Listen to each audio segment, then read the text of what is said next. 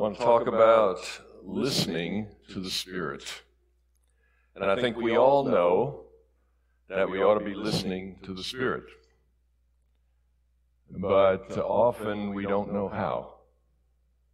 We don't know what that means. We don't know uh, how that would actually work itself out in practice. So we'll begin with the saying of Jesus to understand what the role of the Spirit is. He says, the Helper, sometimes called the Comforter, the Holy Spirit, whom the Father will send in my name, he will teach you all things and bring to your remembrance all that I've said to you. Now keep in mind, Jesus at this moment is not talking to us. Perhaps we could bring it down just a little bit, uh, echoing. Jesus is talking to his disciples. And he's saying, when I'm gone, I'll still be here. Because the Holy Spirit will continue teaching you, and the Holy Spirit will bring remembrance of the things that I said to you while I was here. So the role of the Holy Spirit is to tell us what we couldn't get any other way. Now we realize, as Seventh day Adventists, that the uh, Bible is the primary place where we go for the Word of God. But one thing perhaps we don't emphasize enough is the limitations of the Bible. For example, the Bible is episodic. It's case studies. It's a series of stories of how God deals with some very messy situations. And if you've done any Bible reading, you know that there's some really messy situations going on. And so the Bible is not teaching us, okay, here's how you're supposed to think. Here's how you're supposed to feel. Most of the time, the Bible's just saying, here's some people doing their thing, and God steps in, and hopefully you'll get the point. It'll be useful to you at some point. The Bible rarely speaks directly to our challenges. For example, if you're a teenager this morning, there's probably three questions in your mind that the Bible can't answer. What would those be? What kind of profession will I take one day? Where will I live? Who will I marry? You won't find the answers to that in the Bible. So the Bible teaches us many important things, great principles, but it rarely speaks directly to our daily challenges. Some of our questions don't get answered there. That's where the Spirit comes in. The Bible can help us rule out some things. No, don't go there. That's going to result in a big mess. All right? Bible can rule out some things, but often the choices that we face are not directly addressed by the Bible, and that's where the Holy Spirit comes in. So the question would be, how do we actually listen to the Spirit, and how would we know when the Spirit is speaking to us? There we go. So how does the Spirit talk? Today. We have examples in the Bible. But how does the Spirit talk today? And another way to frame that question is, would you know God's voice if you heard it? If God actually came to you and said, I'm going to tell you something that you need to know and need to do, would you recognize it? Would you know that that was God speaking to you? Let's do a couple of case studies. All right, you're a farmer. And you're standing at the edge of the field and you're looking out and it's beautiful and you feel a strong impression from God. You feel it. Plant corn instead of wheat this year. Would you do it? If you knew that it was God, would you do it? What's the question? How do you know if it's God that's impressing you at that point? All right, another case study. You're a mom. You got three kids. You got a part time job. Life is one chaos after another, and one day you sense the presence of God telling you, invite your husband's elderly parents to move in. Would you do it? If you knew it was God, would you do it? But how would you know if it was truly God? All right? Or you're the church treasurer. And as you're working over the church books, you feel this overwhelming sense that God wants you to cash out all the church's resources and send it to a mission field. Would you do it? If you knew it was God, would you do it? But how would you know? That's the big question.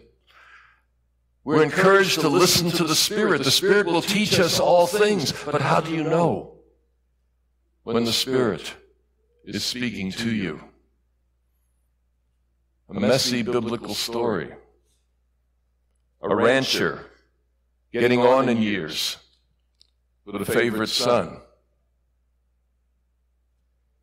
And in the middle of the night, he hears a voice speaking to him Take your son, your only son, your darling son. Take him to the place that I will show you. When you get there, stab him to death with a knife. Would you do it? If you knew it was God, would you do it? How did Abraham know? Seems to me that's relevant for us today. How on earth did Abraham know that the voice that was telling him to go directly against the truth of God's word was the voice of God? How did he know? How could you or I know if we're ever faced with a similar situation? How does the Spirit talk today? Well, let's bring it up to today. I don't know if Tammy recognizes that vehicle. She was about five at the time that we bought it, but it was a Plymouth Voyager. And when you've got three kids, it helps to have a little extra space when you're moving down the road. But of course, being cheap and not hugely endowed with resources in any case, we got the, the base model with the four cylinder engine and the standard transmission, you know? Saving money every step of the way, right? And so it comes time to take a road trip. We were going to leave our home in Berrien Springs, Michigan. We were going to head west and uh, go to a number of places in the west, do a little preaching here and there, uh, have a little family fun. Looking forward to that? Not this time. Usually I'm really excited when it's time for a trip.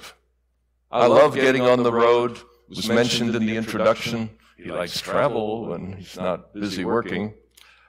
Love to get on the road, new adventures, meet new people, see new places.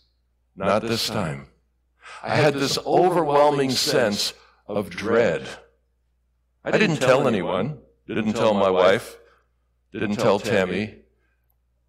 I didn't know what to do with that. This overwhelming sense of dread facing this trip. I didn't know where that came from, why. But we took our van and we headed out. And we passed through Illinois, Wisconsin, North Dakota, Montana. And guess what happens when you get to Montana? You start facing some steep climbs on the interstate that four cylinder vans aren't super prepared to handle. And as we began getting into the mountains on Interstate 94 there, we'd be uh, struggling and struggling, and the speed would go from 65 to 50 to 40 to 30 to 20, and somewhere around 15 to 17 miles an hour was about where we would hit on some of these steep uphills. You see? And then, of course, you come over the top, and wee, boy, is that fun heading down. You, you can act like you got a V16 under the hood. You see? So we were, this is what we were doing. We were creeping up the mountains and running down, trying to make up the time, of course, as safely as possible. And then this happened. Ever seen one of those? Guess what? They don't do so well on those mountains either. This guy was doing about 15 miles an hour up one of those hills, and it was two lanes each direction heading up this mountain pass. And we were side by side, you know, going about 15 miles an hour. We were on the right, he was on the left. He was trying to pass us, but then when it was not so steep, when it was really steep, he was more powerful than I was. But when it was not so steep, we started creeping ahead. And as we're going along, it's sort of going back and forth for a couple of minutes. And all of a sudden, I saw flashing yellow lights everywhere. And what? What's that? What's going on? Uh, and then I realized he doesn't know I'm here. He's coming over into my lane. Never did see us, honked, did everything could. Came right over into our lane, and I just came right over with him like we were dance partners, and right off the road and onto the grass. With a little bit of struggle, was able to bring it safely to a stop. After all, it was only about 17 miles an hour when that happened. We watched him go off ahead. And about 50 yards in front of us was a guardrail and a drop off. If he had come over at that time, we would have been pushed into the canyon below.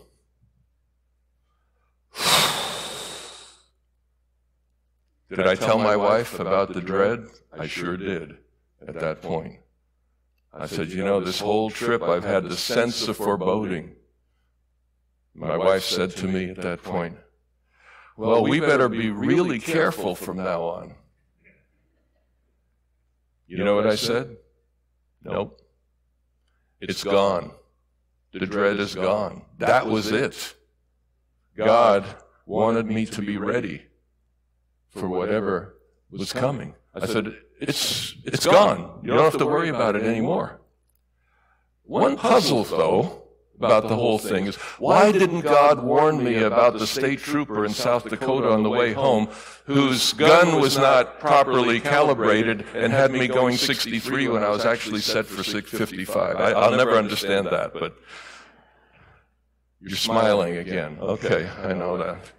All right, so there, I have the real sense that was God. That dread came. I'm not a negative, depressive kind of a person. That was not a, the, the normal thing. And it seems clear from the results that that was from God. Now, Adventists are very leery of this kind of stuff. We're leery of impressions because we know that Satan is a deceiver. And he's going to come along and he's going to mess with your mind. And he's going to try to get you to believe things that aren't true and do things that aren't right. Even Satan disguises himself as an angel of light. So there's not just the Holy Spirit out there talking to you, there's somebody else. So how will you know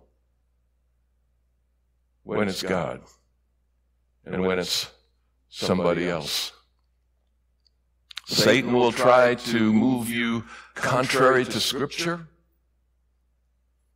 He will try to move you contrary to how God made you. You know, God made each of us unique. And if you're a kind of fun loving person who, who just can't stand it to be silent for three minutes, don't become a librarian. That's Satan's work. You know, if you're, if you're wired up to be with people 25 hours a day, don't become a librarian. Okay? On the other hand, if you can't stand people and you're scared to death to be up front, don't become a pastor. You see, God has a plan for each of us. God has a purpose for each of us. And Satan will sometimes try to get you off of that track into something that you're not designed to do. You may think it's the voice of God. So, he can get you into self promoting and self serving, even for the Lord. So, what do we do with all that? How do we play safe in the midst of the voices inside of our head? And I would suggest there are four. Okay? Every one of us has at least four voices inside of our heads. I've heard them all myself. There's the voice of God. There's the voice of Satan. And then there's the voice of inner turmoil. I call it fog. You know what I'm talking about? Sometimes your mind just wanders into some really weird places. You don't even know how you got there. That's the inner fog, you know. So, so some of the voices in your head are, are crazy, you know. They're the loose screw up there somewhere, all right? I think we all have a couple of loose screws somewhere. Am I right? Anyone say amen? You know. so those loose screws are sometimes talking to us. Okay? And then there's external pressure. It might be your parents. It might be your siblings. It might be your boss. Somebody of influence trying to push you in going into their direction. And you may not have talked to your parents in three years, but the things that they taught you may still at times influence your thinking. So how do you know? How do you find God's voice in the midst of all those voices in your head? And maybe you can come up with a fifth and a sixth if you think about it. So how do you know when it is God speaking to you? This is the big question. And hopefully we'll get to an answer sometime.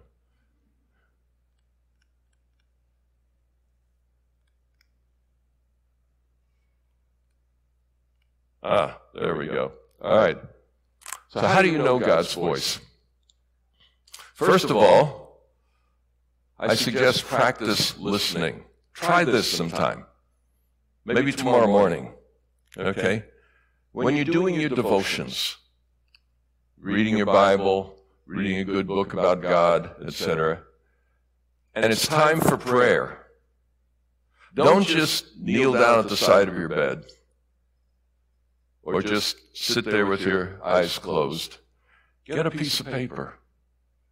Or you can use your phone if it's not too distracting, the notes. And when you're done praying, don't get up. Just wait. And write down whatever comes to your mind. Don't judge. Whatever comes to your mind. You may think it's from the crazy place.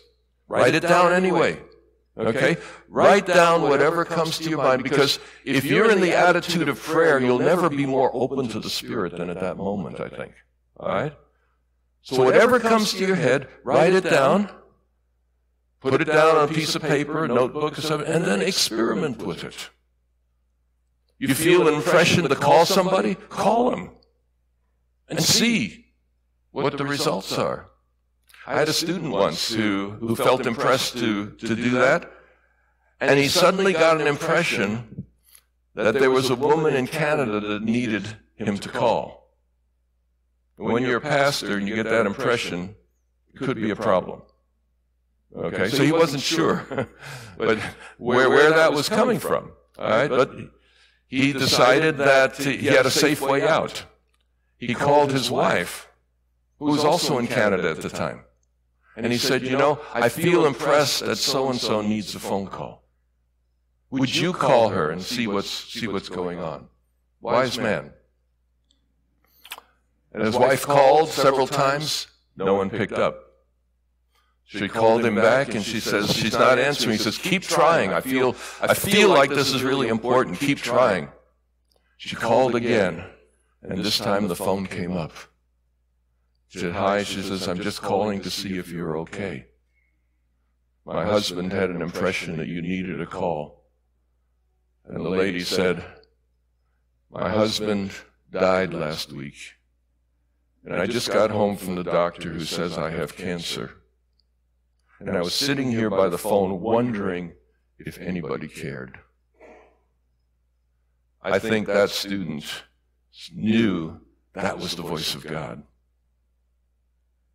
Observe the results. You know, sometimes you may call somebody. I don't know why you called me. I don't. I don't have any problem. I, no, no issues. You know, whatever. You say, okay, good. Nice talking to you. On my way.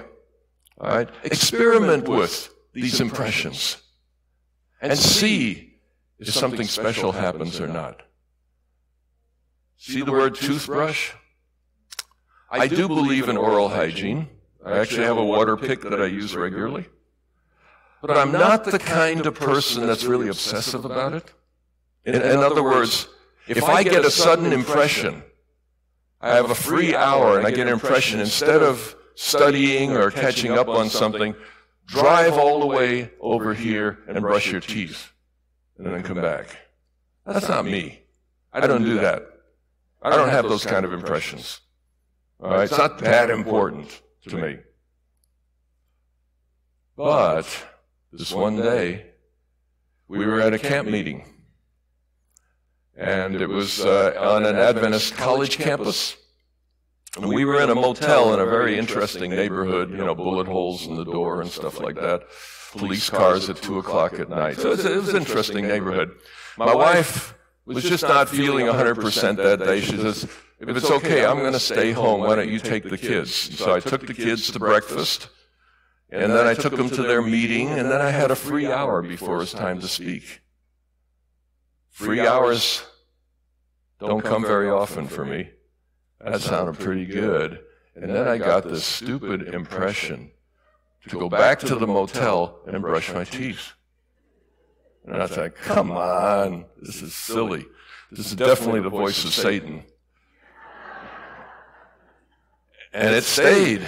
It just kept on. You got to go back and brush your teeth. Go back and brush your teeth.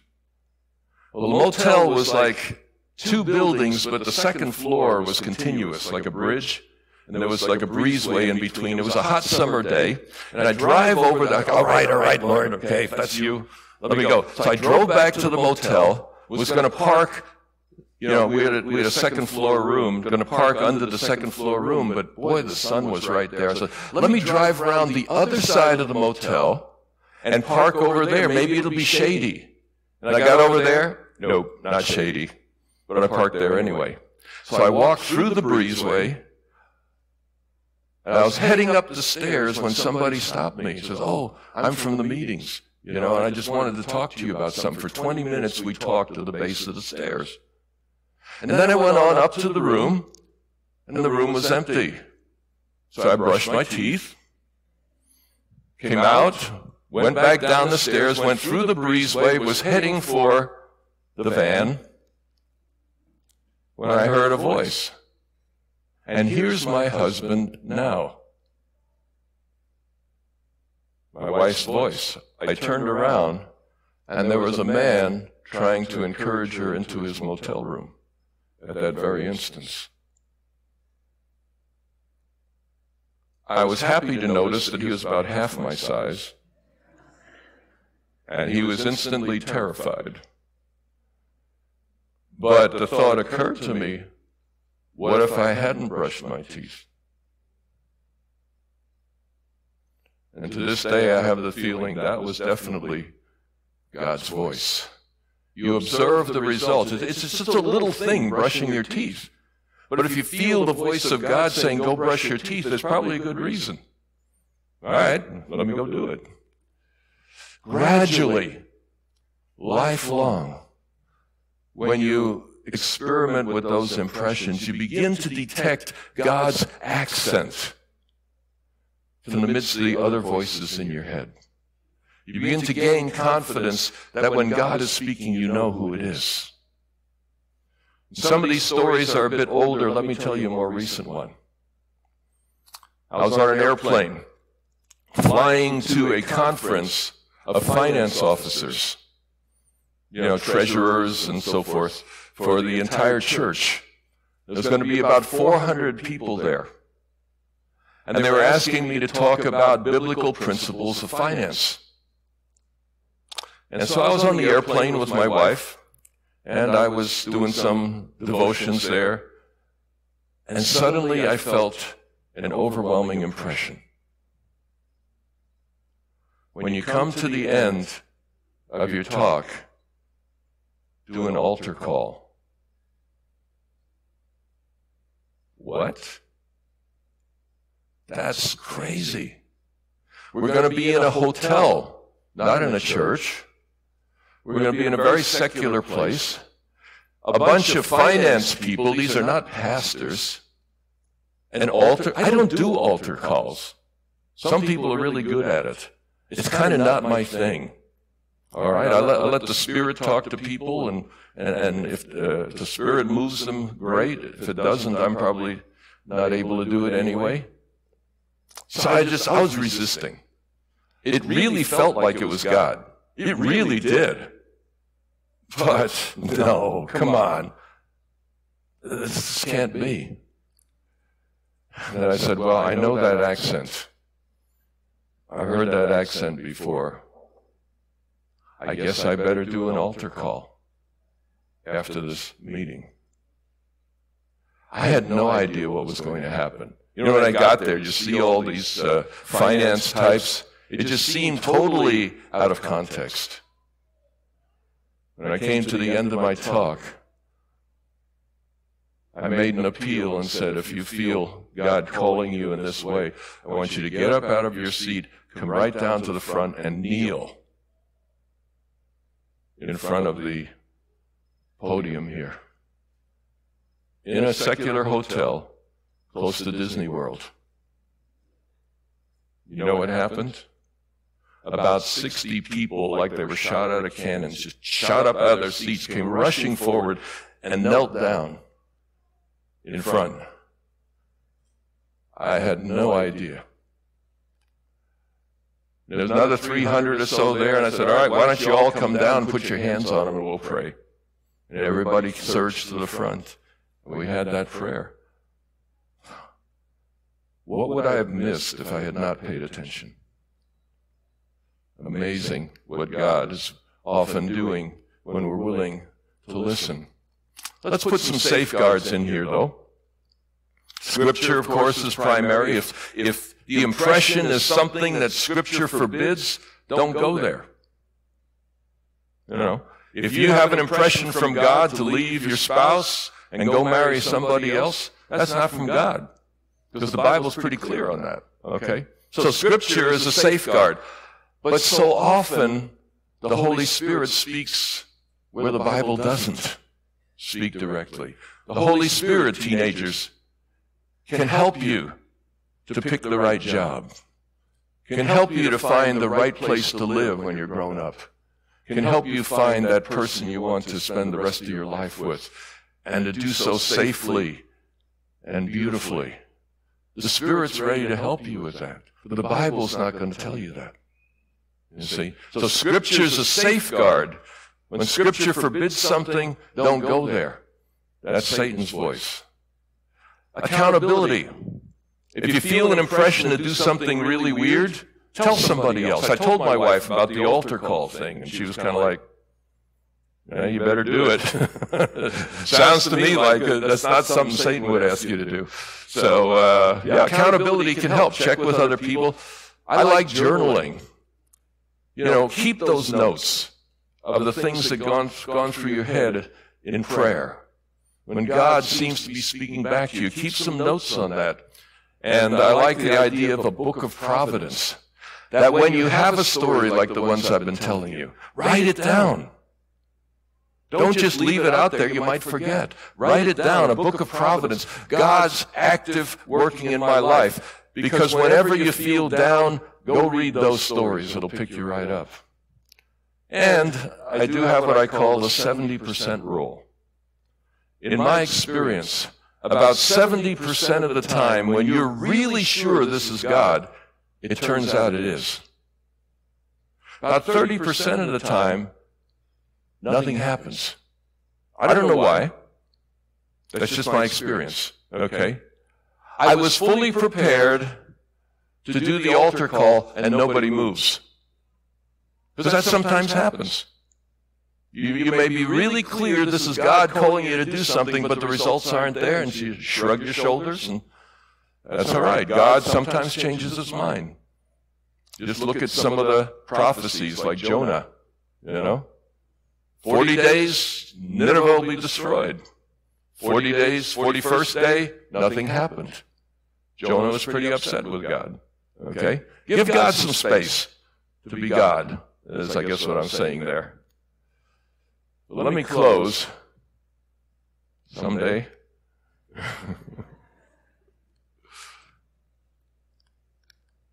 there we go. All right.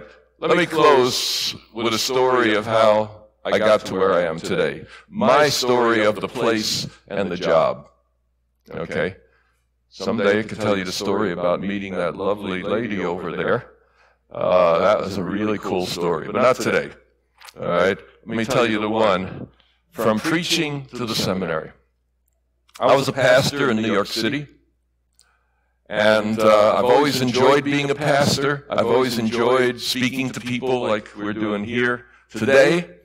But uh, people kept telling me when you get a blackboard or a whiteboard behind you and you start asking questions and getting everybody involved, that's when stuff really happens. Have you ever thought of being a teacher? And so, over some time, I thought maybe we should explore that. And uh, when I asked if I, you know, would you be interested in having me a teacher, they said, no, you got to get the union card first. I said, what's that? It's called a PhD. So what's that going to cost me? Oh, maybe 150,000.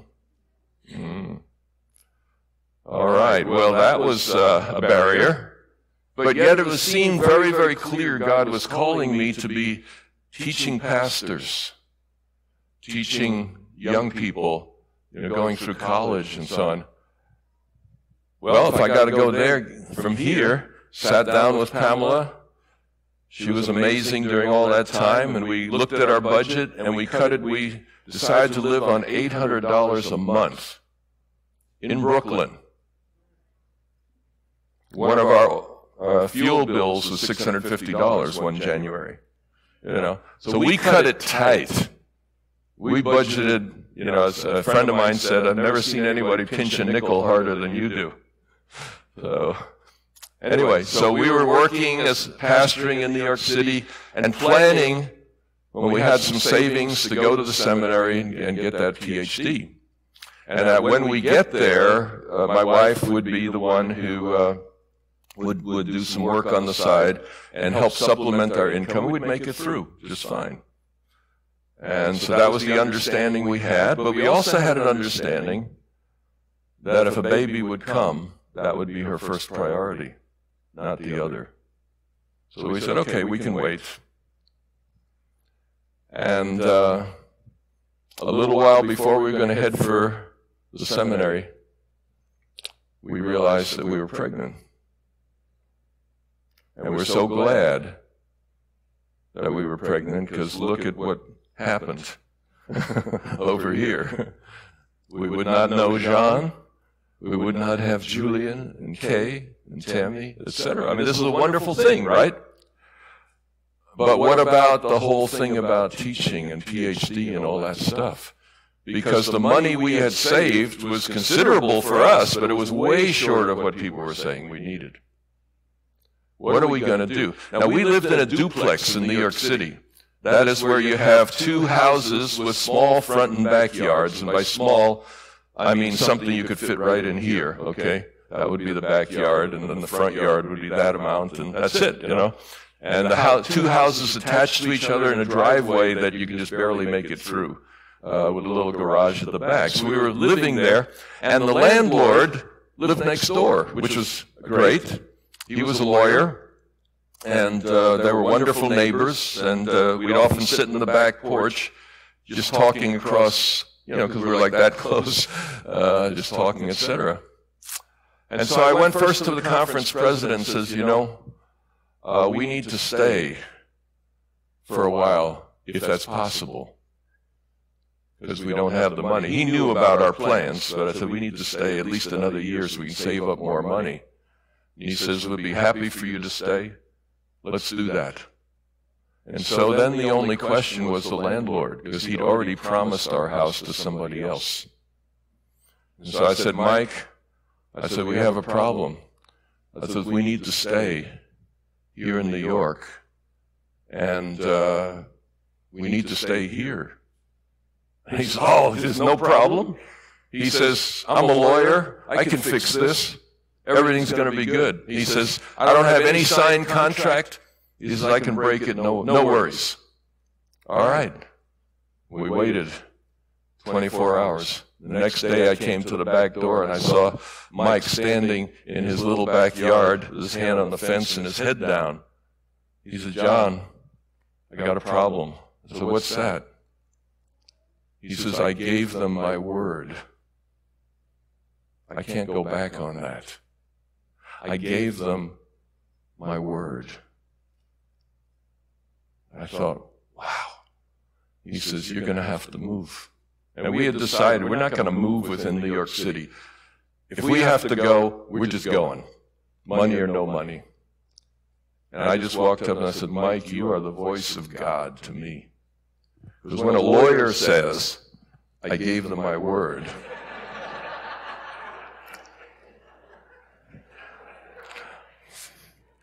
so, it's the Holy Spirit on his heart, don't you think? I mean, he just said I, he wanted so badly. We were, we were like best buddies, you know? He was so excited that we were going to stay. He said, I gave them my word. I can't do it. I said, now, Lord, you're messing with us. It's all good. We're going to see what happens. And a couple days later, a friend of mine who, I, who had been helping me in ministry as a layperson came up to me and he said, You know, I hear you're going to Michigan. He says, In my business, he says, there are certain things I need that you can help with. He says, I'd like to put you on retainer. I said, what does that mean? He says, well, I'll send you $300 every month, and then when I need you to do some research or write up some reports, I'll let you know. And I said, are you serious? You bet I'm serious. He says, something we need. So with that little bit of encouragement, we went off to Michigan. And that's kind of the way it went, all the way through. Uh, just somebody here said, you know, the General Conference needs somebody to read these books and give a report. And there's a thousand dollars in it for you. And then somebody who was supposed to teach in New Testament at the seminary ended up staying in Australia for a quarter. And they came to me and said, could you teach a couple classes for us? And that man stayed away quarter after quarter for two solid years. I was teaching classes one after another. You know, it was like the widow's cruse. You know, it just never quite ran dry. And you know what? I could tell more, but enough is enough because I'm the only thing standing between you and lunch now. But, um, you know, as, as I think about that, God provided when you, when you knew this was what God wanted you to do. I mean, it was, the impression was very clear. I needed to go and do this. And God has blessed ever since. I can only imagine what my life would have been like if I had not gone and the family had not been so supportive. But just time after time, and when we were done with that doctoral program, we owed nobody anything and still had money in the bank. You know? So, listening to the Spirit, I think, can be one of the best things we will ever do. And I encourage you, just experiment with it. You know, just write down stuff that comes to your head. Try it out, you see. Get to know God's accent. You won't regret it. Let's pray. Lord, I thank you for the stories in my life, my family's life. that have made such a difference. I thank you, Lord, that you're still a living God that walks with us today. And I pray that you would draw close to each one in the hearing of my voice. May each one have a sense of exactly what you have in mind for them next week. I pray that you would touch each of our hearts as we are open and willing to listen. We thank you for all these things in the name of Jesus. Amen.